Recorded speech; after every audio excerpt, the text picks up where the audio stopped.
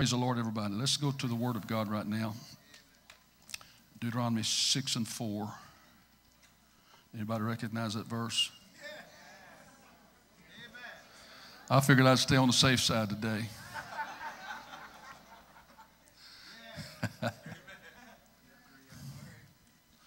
I love oneness doctrine.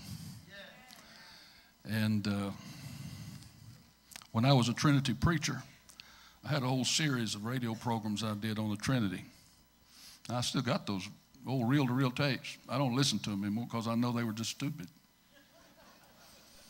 You know, they, a Trinitarian will tell you that the Trinity can't be explained. There's a reason for that. It doesn't exist. Hear, O Israel, the Lord our God is one Lord. And thou shalt love the Lord thy God with all thine heart and all thy soul and with all thy might. And these words which I commanded this day shall be in thine heart, and thou shalt teach them diligently unto thy children, and shalt talk of them when thou sittest in thy house, and when thou walkest by the way, when thou liest down, and when thou risest up.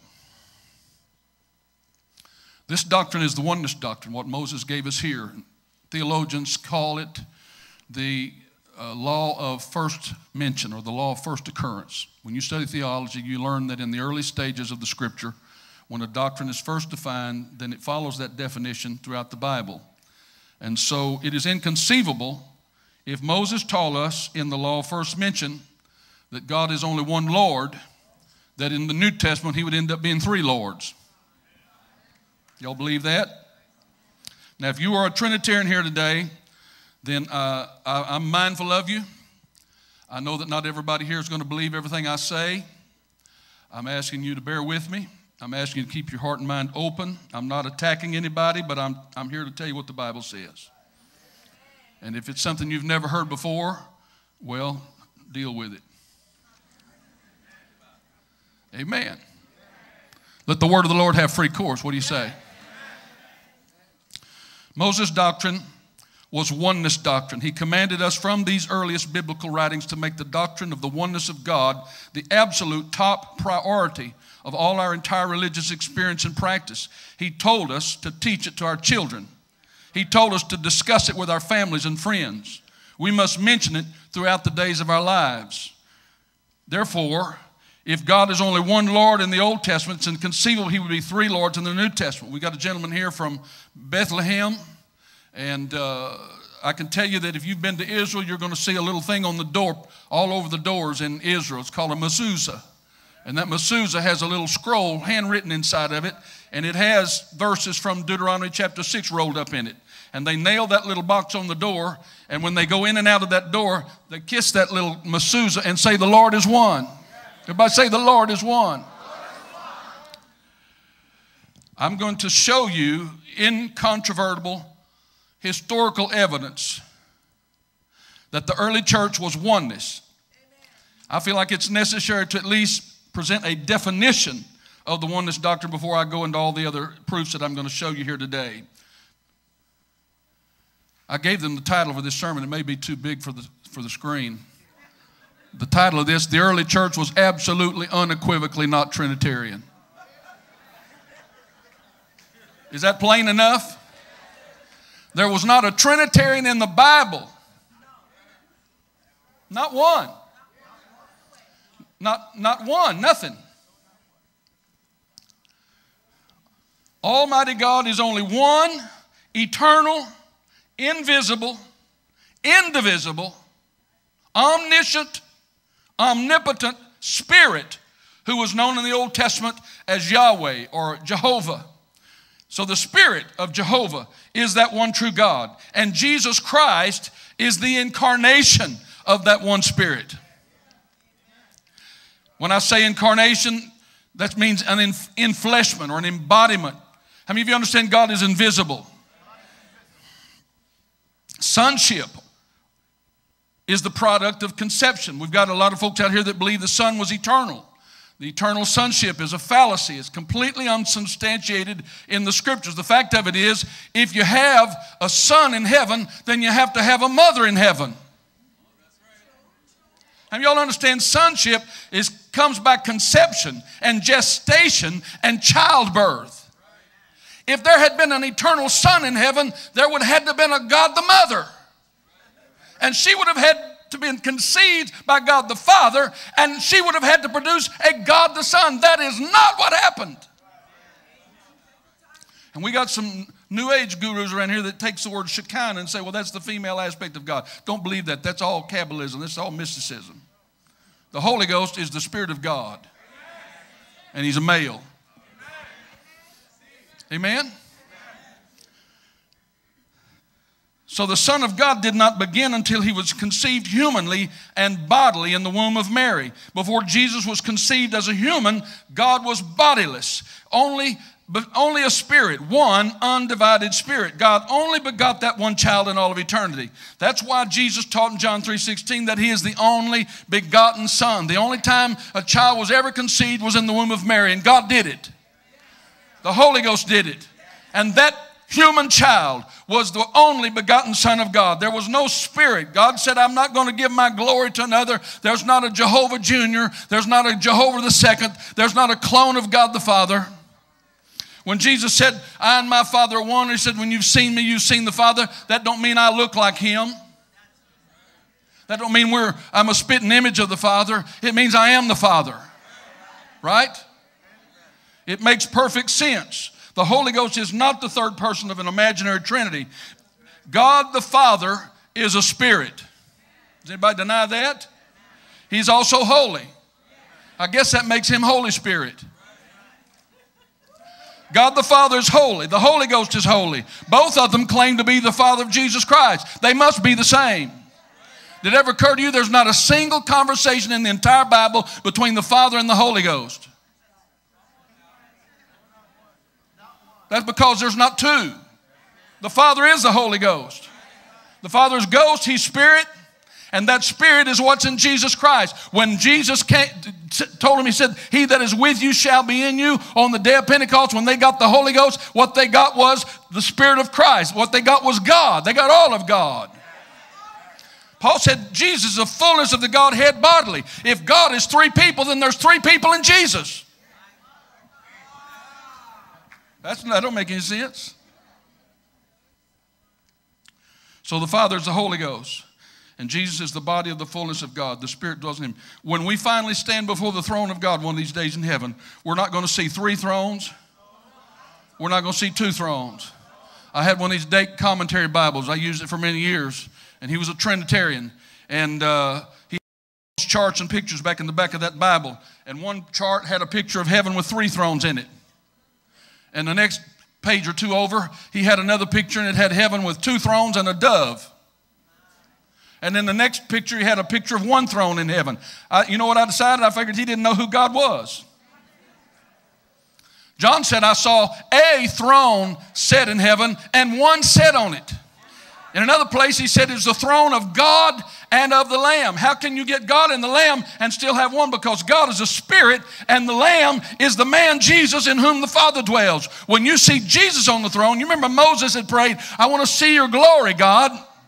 He never did see God's glory in his day, but when Jesus came, God raised Moses from the dead and stood him up on the mountain and said, Here he is. This is the glory of God. This is God in Christ reconciling the world to himself. Somebody say hallelujah. God and the Lamb are one, sitting on one throne. If you see Jesus, you see the Lamb, but you also see God, the fullness of God in Christ. Jesus said, I and my Father are one. If you've seen me, you've seen the Father. Did Jesus really mean that he and the Father were the same person, or did it just mean something abstract? I'm telling you, there is no other way of seeing it. The Apostle Paul taught us the oneness doctrine. He taught us that God has one image, and that is Jesus Christ. God has only one body, and that is Jesus Christ. God is an invisible spirit, and his only body is Jesus. If you had never seen the body of Jesus, you never saw God. Now, you had clouds and smoke and pillars of smoke. You had theophanies. You had angelic appearances, the angel of the Lord, and various sundry uh, manifestations in the Old Testament. But none of them carried the name of God. None of them purported to be God. They were all emissaries or ambassadors for God. They were not the bodily manifestation of God. Again and again, God emphatically declares that He's solitary. He said, I am the Lord that maketh all things, that stretcheth forth the heavens alone, that spreadeth abroad the earth by myself. Did you get that? There's no two people in the Godhead or three people in the Godhead. Every decision He made, He made by Himself. Every act He ever committed, He did it by Himself. God doesn't need help. He doesn't need a second member of the Godhead to carry out his business. He didn't need two or three other gods to go with him or two or three other lords to go with him to create the heavens and the earth. He said, I did it by myself. I did it alone. How much plainer can it be? There's no plurals in any of those statements. If you want to see exactly what God looked like in eternity past, then just look back into eternity and you'll see his original form. Take away everything, everything that God ever created. Take away the heavens and the earth. Take away the stars, the sun, the moon. Take away heaven. The Bible says city built four square, isn't it? Was there a time there was no city of heaven? Sure. David said in the 103rd Psalm, Thou hast prepared thy throne in heaven. Even the throne of God is not eternal. God made that throne. Are you with me? If you take away every single thing that God ever created, you know what you'll have? You'll have nothing but a pitch black of darkness in all of eternity. And there is God. He's a spirit. Say, He's a spirit. He's, you're not going to see three men walking out there in the middle of space somewhere having a powwow. There's, it's not a triumvirate, it's a spirit. And He's the one that made you and me. Jesus created the fact that God is invisible. He told the Pharisees, You've neither hear, heard his voice at any time nor seen his shape. You've never seen his shape. God does not have a shape. John declared, No man has seen God at any time. Jesus is the only embodiment of God. John said he was the Word made flesh. And don't tell me the Word is separate from God. The Bible says the Word is God. They try to make the Word out to be a separate person from the Father. That's nonsense. That's crazy. The Word is God, and Jesus is the incarnation of the Word. That's why He was tempted at all points like we were, yet without sin, because He lived by the Word. All His rules were the Word of God. Every thought He had was by the Word of God. Every desire He had was subject to the Word of God. The Word of God made Him what He was because He was the Word of God. And that's what we need to be. We need to be the, the repository of everything that was in Jesus Christ, conformed to His image, full of His Word, full of His Spirit. And that's how we overcome sin, is by getting His Spirit in us and living and walking in that Spirit. Philip asked Jesus, Show us the Father. Jesus said, Have I been so long time with you and you haven't known me, Philip? He that has seen me has seen the Father. Jesus is God's only body. He is the fullness of him that filleth all in all, Ephesians 1.23. John 1.10 says he was in the world and the world was made by him and the world knew him not. When Caiaphas, that high priest, sentenced him to die, he had no idea. I mean, this is the guy, Caiaphas had offered sacrifices and they'd let blood flow and they'd run that temple all his life in, in hopes of the coming of Messiah. They, they had taught that Messiah would be God incarnate. And yet, when he looked in the face of Jesus, he didn't believe that was him and he killed him to death. God came unto his own and his own received him not. But to as many as received him, to them gave he the power to become the sons of God. That's you and me here today. To wit that God was in Christ reconciling the world to himself. 2 Corinthians 5:19 Paul described the mystery to Timothy. God was manifest in the flesh. Colossians 2:9 in him dwelleth all the fullness of the Godhead bodily. That is the deity. The word Godhead doesn't mean many members either. He came unto his own and his own received him not the invisible God suddenly appeared and they did not know who he was. Isaiah prophesied that his name would be Emmanuel, which means God with us. He's the image Paul taught the Corinthian church that Jesus is the image of God. He taught the Colossian church that the Son is the image of the invisible God. In Colossians 1:19, it pleased the Father that in him, speaking of the Son, should all the Father's fullness dwell. That's why John said the Word was made flesh. Jesus is Jehovah Savior, come in the flesh. In fact, the very meaning of the name Jesus is Jehovah Savior. Jesus explained, I'm come in my Father's name. The name Jesus is the name of the Father.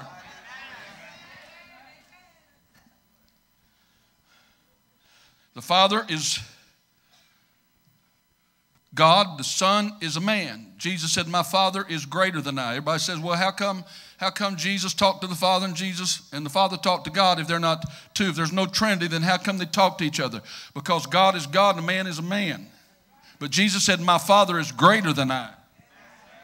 Why did he say, My Father is greater than I? Because he was a man. When he said, when he said some things I don't know, only the Father knows, he was saying as, he was speaking as a man. There's nothing co-equal or co-eternal about the Son. If that was the case, Jesus wouldn't have said, My Father is greater than I. If he was co-equal and co-eternal with the Father, he wouldn't have made that statement.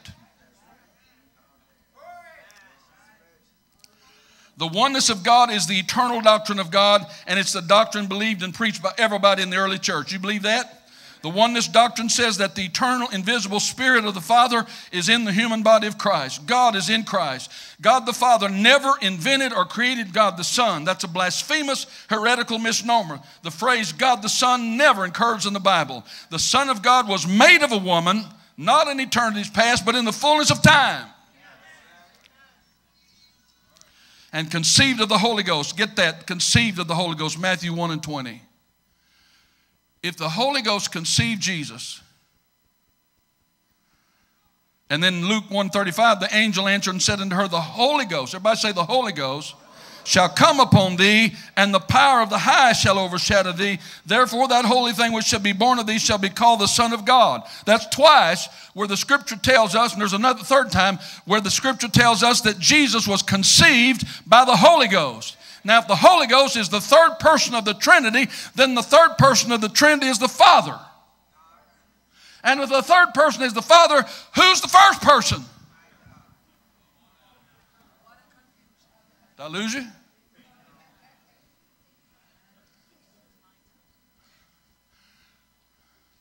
The Holy Ghost is the Father. Conceived of the Holy Ghost means the Holy Ghost is the Father. It means the Spirit of God is the Father. In Matthew 120, the angel told Joseph, Fear not to take unto thee Mary thy wife, for that which is conceived of in her is of the Holy Ghost. That clearly shows us that the Holy Ghost is actually the Father, since John said the Son of Man is the only begotten of the Father. Why didn't he say he's the only begotten of the Holy Ghost and left the, left the Father out of it? Because the Holy Ghost and the Father are the same thing. And I know most of you know this, but if you don't know that today, it's time for you to learn it. It's absolutely impossible to reconcile these Bible verses apart from the doctrine of the oneness of God. Furthermore, if God's a Trinity in three persons and Jesus is the fullness of the Godhead bodily, then there would have to be three complete persons inside the body of Jesus Christ, and that is nothing but absurdity. God is not three persons. People say, Trinitarians will say, we don't believe in three gods. Well, let's, let's deal with that for a second. God said, I'm the Lord, and beside me there is no Savior. That's the Father talking, right? The Father is the Lord. The Old Testament teaches us that the, whole, that the Father God is the Lord, right? But then the New Testament tells us that one of these days every knee is going to bow and every tongue is going to confess that Jesus is the Lord. And then there's another verse that said, Now the Lord is that Spirit. And where the Spirit of the Lord is, there's liberty. So the Holy Ghost is the Lord. So if there's a Trinity there, we got three Lords. Because the Father said He was the Lord, and the New Testament tells us that the Son is the Lord, and the Holy Ghost is also the Lord. We, there's only one way to understand that, and that is to understand that God is one. Hear, O Israel, the Lord our God is one Lord. Now, I'm telling you something. Most churches in this city don't believe that. And the fact that you're here sets you apart, not just in, because you got a different church, but because you got the truth. You're not going to be saved without the truth. Ye shall know the truth, and the truth will make you free. You're not going to be made free by lying doctrine. Nobody ever got saved by false doctrine.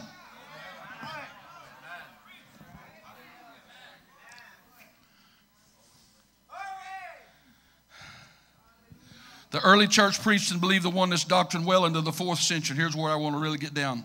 Ignatius was the bishop of Antioch. The Ignatius of Antioch was called the disciple of the apostles. Ignatius spoke of Jesus in the epistle of Polycarp, chapter 1, verse 15. He said, Expect him who is above all time, eternal, invisible, though for our sakes made visible, impalpable, which means intangible, and impassible which means not capable of experiencing pain, yet for us, subject to sufferings, endured all manner of ways for our salvation. So Ignatius was telling us that Jesus Christ is the suffering body of a God who cannot suffer. God had to embody, God can't die. He had to take on the form of a man to die. You can't kill God, but you can kill the Son of God. And they did. But he came up from the grave because greater is he that's in you the power of God raised him. And when Jesus came up, Moses had taught us way back under that the life of the body is in the blood. But when Jesus got up, there wasn't no blood in him. It was all Holy Ghost. And that's the same thing that's going to animate you and me when the trumpet sounds. That Holy Ghost that you got here in this altar is going to raise you from the dead one of these days. That Holy Ghost you got is the same spirit that filled Jesus Christ. It's the same spirit that filled the upper room, and it's going to get you up out, you and me up out of the grave or in the rapture one of these days. You better love this thing.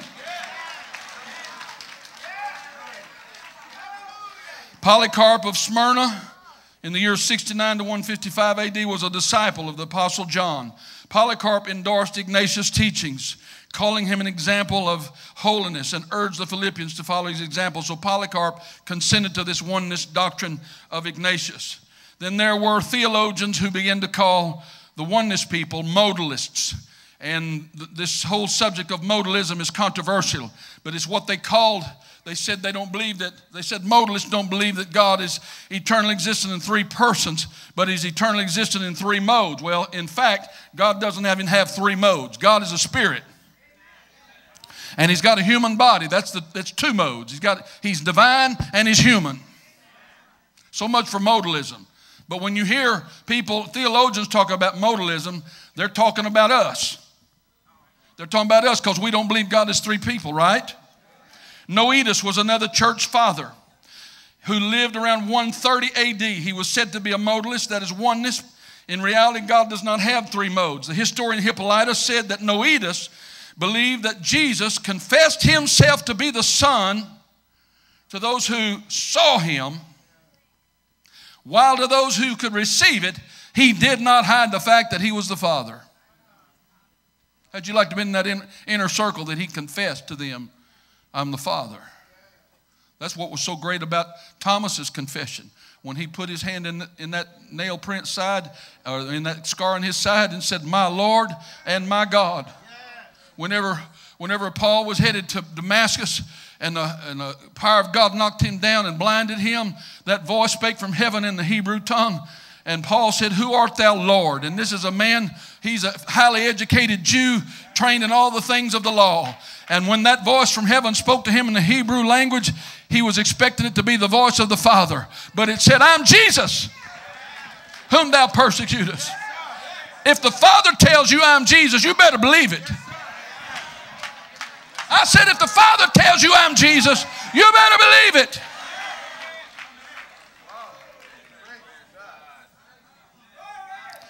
Irenaeus was another church father who lived around 135 to 200 AD, he said, The Father is that which is invisible about the Son, and the Son is that which is visible about the Father. I like that one. So the Father is God revealing Himself, and the Son is God revealed. Praxeas, around 150 to 200 AD, who was arguably, uh, he was a friend of Tertullian, who was arguably the first Trinitarian compared Praxeas in 152, uh, saying that Jesus is God and Father Almighty. So this guy Tertullian, you got to understand, Tertullian was one of the first Trinitarians, but even in his day, he admitted that there were more oneness people around than there were Trinities. Sabellius in 180 AD taught that the Father and the Son are the same. You see, I'm telling you that the church, the early church was not t- Trinitarian. Absolutely, unequivocally not Trinitarian. There was no Trinitarian. These, these Trinitarian guys were Johnny come lately. They got no place, they got no part or lot in this thing. The church belongs to the oneness, Jesus name apostolic people. Am I telling you the truth? Tertullian said that oneness apostolics always constitute the majority of believers. He even refused to call them unwise or unlearned. Zephyrinus, who was the bishop of Rome in 210 AD, said, I know one God, Christ Jesus. And beside him, I know no others. That sounds like oneness to me. Callistus, the bishop of Rome in 220 AD, said, the word, the word is the Son himself, the Father himself. There is only one and the same indivisible Spirit. The Father is not one and the Son another. They are one and the same. Y'all, I'm going to tell you, when I first got converted to this stuff, I was riding down the road one day and I thought of that verse that said, The Lord shall go forth as a mighty man. And that's where it really dawned on me. Jesus Christ is the Father come down. The Lord shall go forth as a mighty man. He shall cry, yea, he shall roar, he shall prevail against his enemies. Jesus is our God. He's not, he's not the incarnation of the second person of Trinity, he's the incarnation of the fullness of God.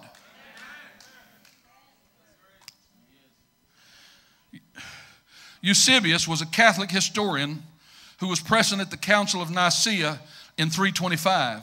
In his lifetime, his writings sometimes depicted oneness theology, while at other times he seemed to be a Trinitarian, leaving us uncertain about exactly what Eusebius believed. But Eusebius wrote about the error of Berilius. Berilius, who was the bishop of Bostra in Arabia around 240, taught that our Lord and Savior did not exist as a distinct person before the incarnation and that the divinity of the Father dwelled in Christ. Others have called Berilius a monarchian. That means he believed that Jesus was the King of kings and the Lord of lords.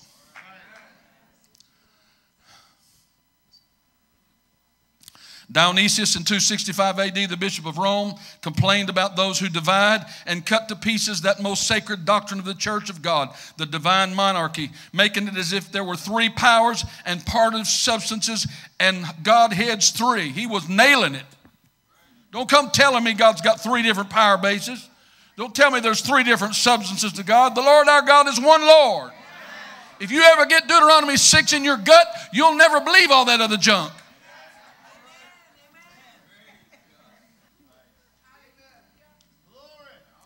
So, in other words, in 265 AD, the Bishop of Rome contend, condemned the doctrine of the Trinity.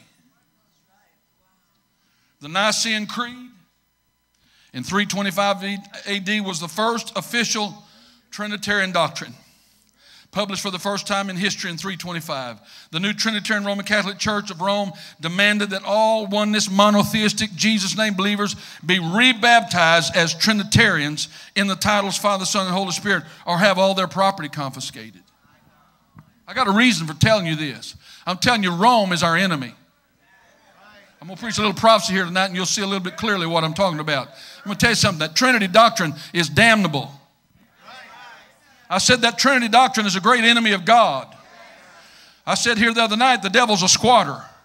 The devil likes to, to sit down on places that God claims. In Isaiah 14, he said, I'm going to exalt, the devil said, I'll exalt my throne above the stars of God and I'll sit in the mount of the congregation on the sides of the north. The devil always wanted to sit in God's place, and the devil always wants to replace true doctrine with false doctrine. You and I got to open up our eyes and open up our ears and study to show ourselves approved unto God. Workmen that need not to be ashamed, rightly dividing the word of truth. We can't be dupes. Don't listen to everything everybody preaches. Just because a preacher's got a big crowd and a big following and millions of dollars, don't mean he's telling you the truth. You got to love the truth, the whole truth, and nothing but the truth. Elsewise, you're going to be deceived. You got to love truth above all else. Rome declared war on oneness people. I said Rome declared war. That early church didn't apostatize. They didn't get discouraged and quit. They didn't lose the faith or think that what they was believing was wrong. You know what happened? The Catholics murdered them. I said the Catholics murdered them. Not just a few. History tells us that the Catholic Church has murdered no less than 60 million people didn't believe Catholicism. Some estimates run as high as 100 million. That don't sound like the Church of Jesus Christ to me. That sounds like the church of the devil. Somebody said, Well, you shouldn't speak evil of anybody. I'll speak evil of the devil any day I want to.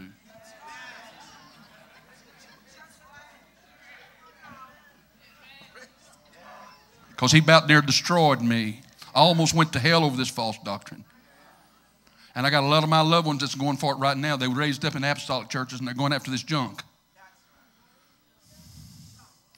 And some of y'all, if y'all keep watching all these TV preachers, you're going to be outside looking in one of these days.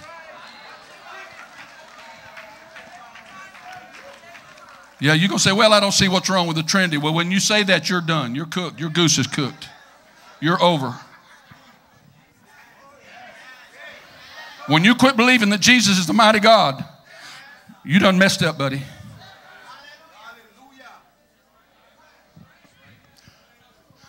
He said he wouldn't share his glory with anybody.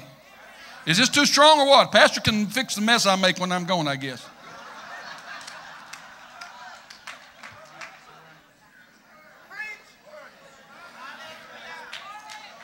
The Roman Catholic Church caused many oneness believers to go underground, that is, to go into hiding. But in 380, Marcellus of Ancyra, with Photinus, who was Marcellus' disciple, and Priscillian, still contended that the Christian faith is in Father, Son, and Spirit, one God in Christ. He is God, Son of God, and Savior. In Christ, the Father is known. Marcellus added, God is invisible. None has seen him at any time, so he came in name and form as such as he could make himself known. He was, of course, referring to Jesus Christ. And then in 400 AD, Commodius said, a, a Christian poet named Commodius said, The Father and the Son and the Holy Ghost are different designations to the same person. We're not the only people ever believe this. Bacchiarius, Baccharius, in 450 AD, Baccharius of Galatia held what was called a Sabellian view, that is, a oneness view of the Godhead. In 1121, we're getting up closer to modern times, Peter Abelard, a French scholastic philosopher, theologian, and preeminent logician, was known to be oneness.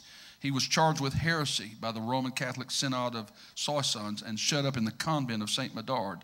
The Chambers Biographical Dictionary called Peter Abelard the keenest thinker and boldest theologian of the 12th century, and he was oneness like you and me. And then there was this guy, Michael Servetus, who was one of my great heroes. Michael Servetus.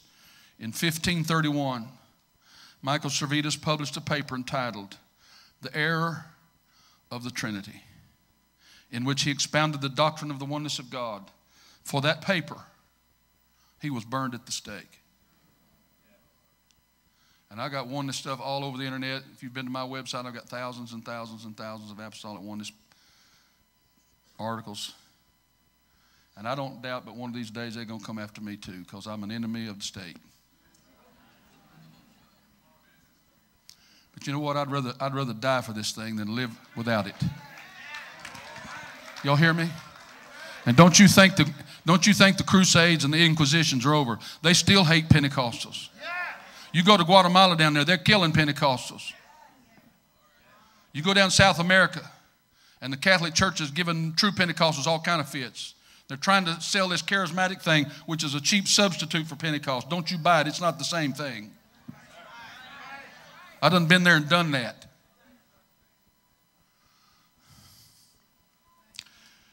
Michael Servetus said, Christ is in the Father as a voice from the speaker. He, is, he and the Father are one, as the ray and the sun are one light.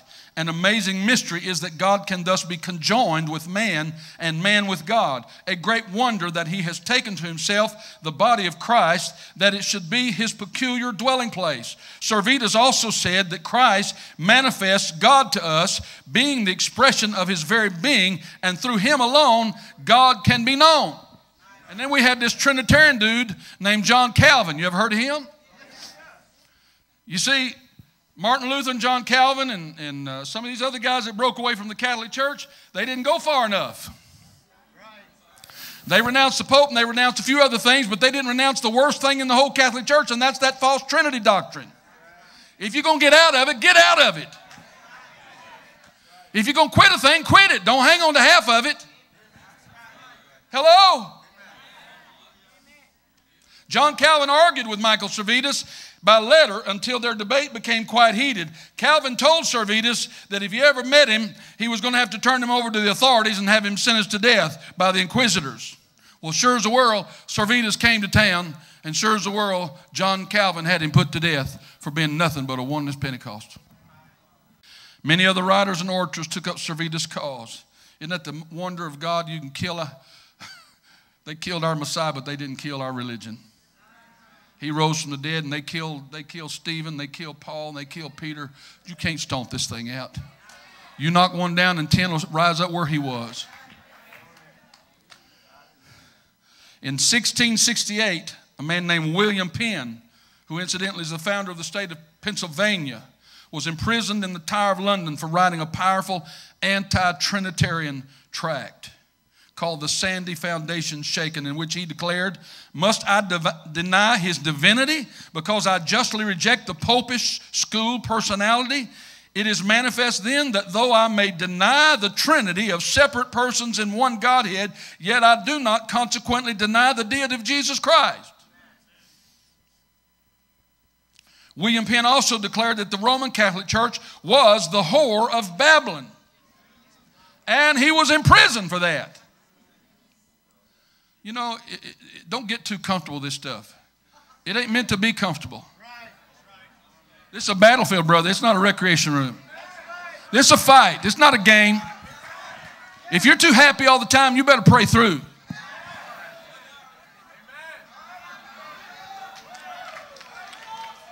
You're living in a dream world. You're living in denial of some stuff. I'm going to tell you, they that live godly in Christ Jesus shall suffer persecution. If you stand for something, everybody that don't like what you stand for is going to hit you. Jesus said, uh, they'll persecute you for my name's sake. If you believe the truth, when you take God's side, you take all his enemies. And I'm well aware of that. I know that by my standing for what I stand for, that everybody don't agree with me would like to just take me down. They'd like to shut me up and say, we don't like your doctrine. We don't like, somebody told me on the internet last night, you take your religion too seriously. You know what I did? I blocked her.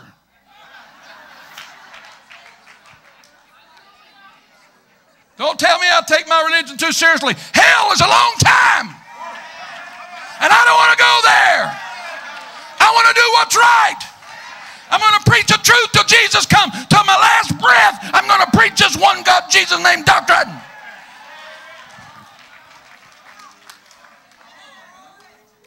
Emanuel Swedenborg, around 1749, said Jesus is the Redeemer and Savior. He came in the world as to his humanity, called himself Jesus Christ.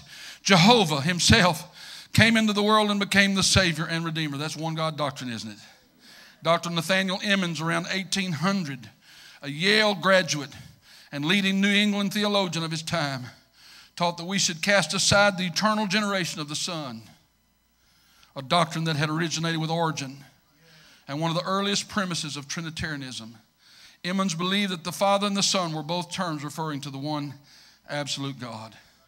In 1819, William Ellery Channing said, We the doctrine of the Trinity.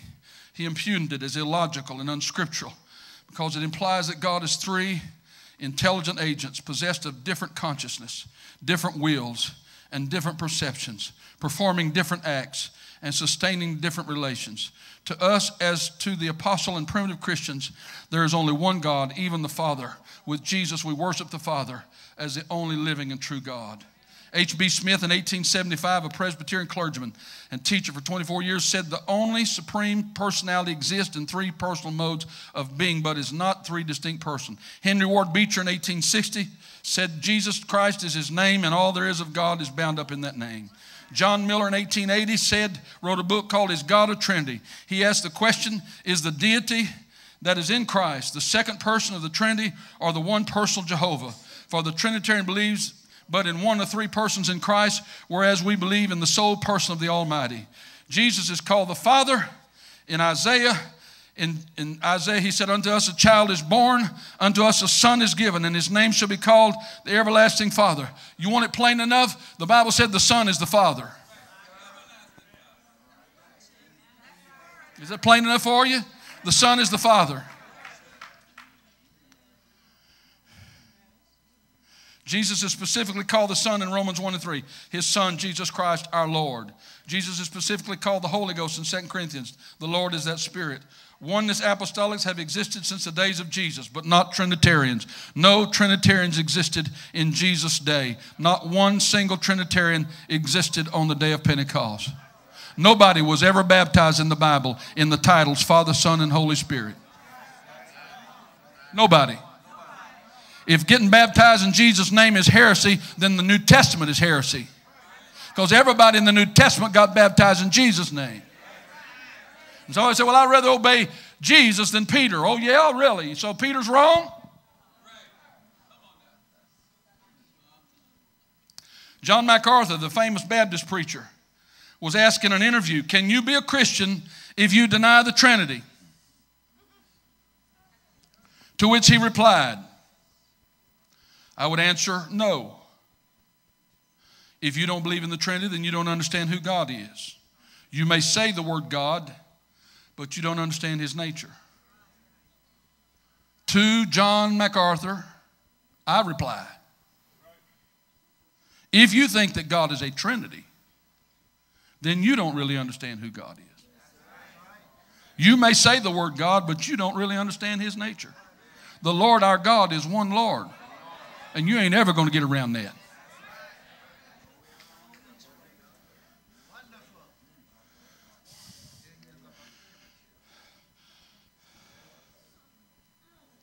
You see, Rome has always been an enemy of the church.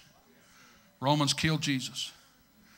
Romans killed Peter upside down on a cross. Romans cut off Paul's head. Romans destroyed Jerusalem. Romans ransacked the holy temple. Romans, under Titus, took all the holy temple vessels to Rome. They built the Arch of Titus to commemorate it. They built the Colosseum in Rome with the treasures of the holy temple. The Romans took thousands, tens of thousands of Christians to the Colosseum and let them go to the lions and watch them eaten, devoured by wild animals for no other reason than they were Christians and they wouldn't be Roman Catholics. By the turn of the third century, the Apostolic Pentecostal Holiness Church that Jesus had founded had been almost wiped off the map. Not because they didn't believe it, but because the enemies killed them. Irenaeus was the man who first conceptualized the doctrine of the, the false doctrine of the eternal Son. Justin Martyr had said that Jesus is in second place to the Father. Can anybody explain to me what that's supposed to mean? What, what, what does it mean Jesus in the second place of the Father. That's a Trinitarian concept. It's totally foreign to the Bible. Jesus is not second place to anybody. He said, I'm Alpha and Omega. I'm the first and last. Jesus is no, he's not in second place to anybody. Y'all believe that? He's not the incarnation of the second person of Trinity. He's the incarnation of everything God is. He's the fullness of God. The Apostle Thomas called Jesus my Lord and my God. And for a Jew, that meant that Thomas believed that his, this was the Father in the flesh. That's a mighty big statement. You think about that. For a man, for an ordinary man to look in the face of Jesus Christ and say, My Lord and my God, that's, that's incomprehensible. But he believed it because it rose from the dead. And John who'd leaned on Jesus' breast all of his three years of ministry. Closest, he'd been all the way from, John started out with John the Baptist. He followed Jesus all through. He heard every sermon he preached, saw every miracle he worked. He followed him to the Gethsemane. He was with him at Caiaphas' house. He was there at, the, at, at uh, Golgotha. He visited the tomb. John was, was the intimate of intimates. And you know what he said in the book of Revelation? The worlds were made by him. I don't, I don't say that to anybody but Jesus. The world was made by that man. You believe that? So there are two natures. To be exact, God in Christ has two natures a spirit and a flesh. God is greater, the Son is less, but that's not two distinct persons and certainly not two identical deities. What I want to close with is the concept that this has, uh, the, the, uh, the, the, impact that this concept of the oneness of God has on the plan of salvation. Because that is where the rubber meets the road.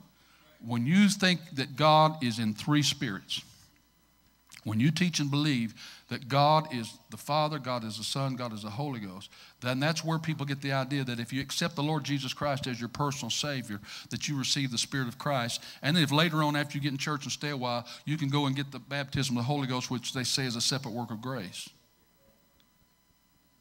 They'll tell you, you tune, you tune in Joel Osteen, and at the end of every one of his programs, he's going to say about a 15 second prayer. So we want everybody to get saved today.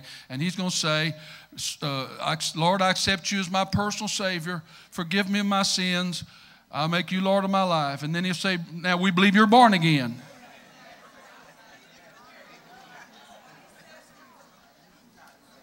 That's where I'm ready to kick the screen in. That is not how you get born again. You must be born of the water and of the Spirit. You got to be baptized in the name of Jesus. There is no other name given unto heaven among men whereby we must be saved. And you shall receive the gift of the Holy Ghost. That's Jesus. When you get the Holy Ghost, you get Jesus. If you didn't get the Holy Ghost, you didn't get Jesus.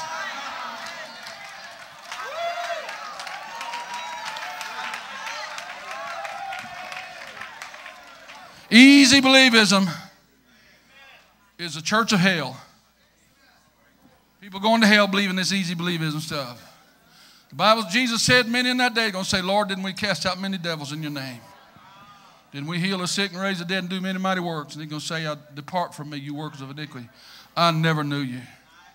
Another place he said, Not everybody says to me, Lord, Lord's going in. Now, do we believe that or not? Or we just pass over that stuff and say, Oh, they don't mean what he said. You know what? You know what they said in the in the uh, Romans eight, verse nineteen. They said, uh, "Show us your Father." Verse nineteen. In verse 24, John 8, he said, If you don't believe I'm He, you're going to die in your sins. Did y'all get that? They said, Where's your father? And he said, If you don't believe I'm the father, you say, I don't know why you got to preach all this doctrine on Sunday morning. We come to get a blessing. But this is the source of all blessing right here.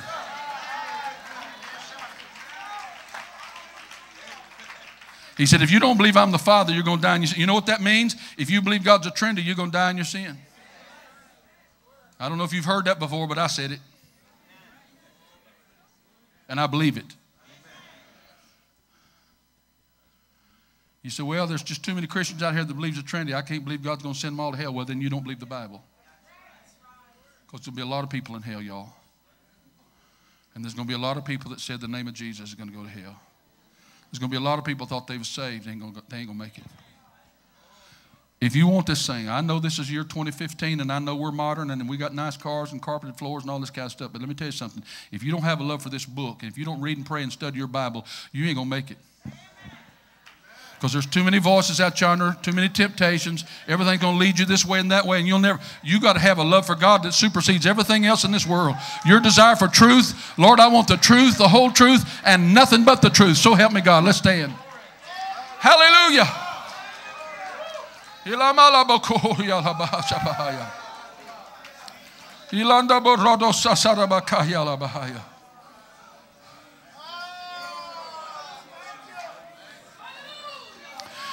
In the seventh century, the Athanasian Creed replaced the Nicene Creed. In 1712, the most diabolical words ever written. Here are some excerpts. Listen carefully. This is words that's in the Roman Catholic Athanasian Creed. Whosoever will be saved before all things, it is necessary that he hold the Catholic faith. Before you start shooting off about us apostolics thinking we're the only ones, I'm going to tell you something. The Catholics think they're the only ones. Didn't know that, did you? Or did you? Did you know the Baptists have got their own doctrinal statement and they believe they're the ones? Now, what are you going to believe? You're just going to believe whatever has the biggest following, or are you going to believe what the Bible says?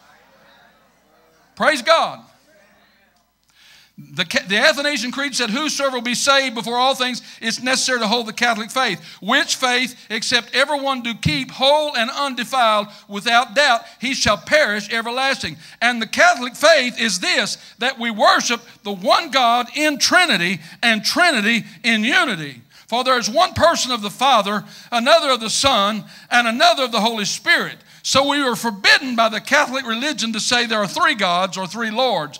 And in this Trinity, none, four, none is a four or after another. None is greater or less than another. Do you realize what a contradiction these statements are?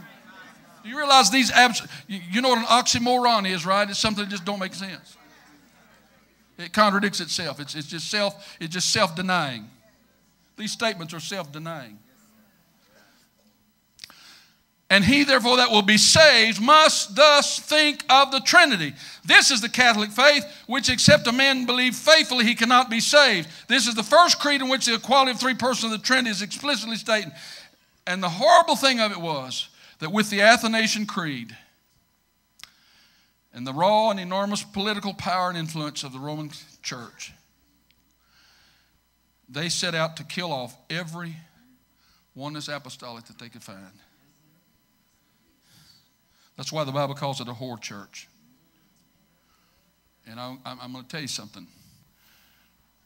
And, and I, give, I give as much credit to Martin Luther and Calvin and all those guys for having the guts to walk out on the Pope, but they didn't walk far enough. They didn't go far enough. And it's not good enough that you get in here and just join this fellowship and sing and dance with everybody. You got to get a revelation of God. You got to know Him. How many you understand this is about knowing God? And you can, come, you can know every, you can have a perfectly horizontal relationship with everybody in here and not even know God. I know I'm telling the truth. You can be in perfect good standing with everybody in this church and not even know God.